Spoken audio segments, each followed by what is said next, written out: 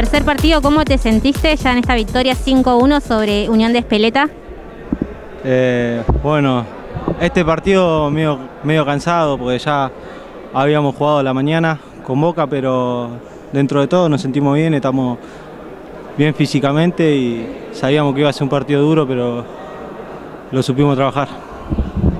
¿Cómo van ya hasta, este mes y medio de trabajo? ¿Cómo te vas sintiendo? ¿Y cómo fue también la vuelta de los entrenamientos en su momento, luego de tantos meses parados y ya esta seguidilla de partidos? No, la, vuelta a los entrenamientos después de ocho meses fue, fue dura, no, nos costó, pero después metiéndole día a día con el profe nos fuimos poniendo bien físicamente y hoy nos podemos sentir bien dentro de todo.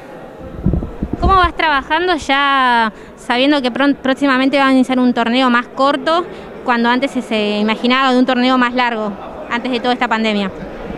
No, sabemos que va a ser un torneo corto, que podemos ganar cualquier partido, todos los partidos van a ser pero sabiendo que es un torneo corto lo podemos, lo podemos sacar adelante.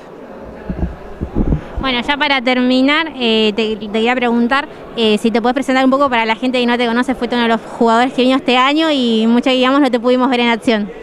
No, nada, soy un ala que, busco el uno contra uno, pasa pivot al segundo palo y nada, después en la marca eh, tratar de ayudar a los compañeros cuando no toca marcar. Bueno, muchas gracias Brian. No, gracias a ustedes. Estamos con Lucas Suárez. Bueno, Lucas, contanos tus sensaciones de este partido, una victoria. Sí, sí, eh, partido de pretemporada lo tomamos eh, para seguir sumando, sumando minutos, eh, conociéndonos más porque mucho tiempo parados y nada, poniéndonos a ritmo. Estamos, jugamos hoy a la mañana y vinimos a la noche cansados pero con la mejor para, para seguir sumando. ¿Qué sensaciones te quedaron de este doble partido, una seguidilla de partidos en un día, eh, luego de tanto tiempo estar en inactividad?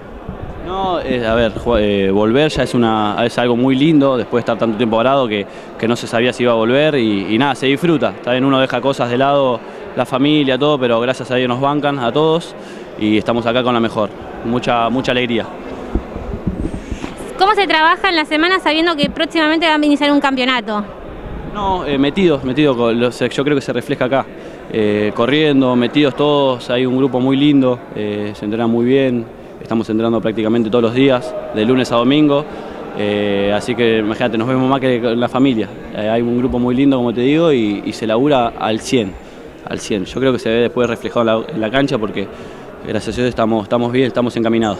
Para ir cerrando, quería preguntarte qué es lo que, cómo te sentiste ¿Qué es lo que sentís ya en tu segundo año en Camioneros? O tercero, perdón. Es el tercero, es el tercero y nada, eh, uno se vuelve hincha de este club, que, nada, es muy, muy lindo la gente eh, y nada, y se esperan grandes cosas, pero bueno, hay que laburar mucho. No, esto es el trabajo día a día, como te digo, de lunes a domingo y, tenemos que seguir así, hay que meterle.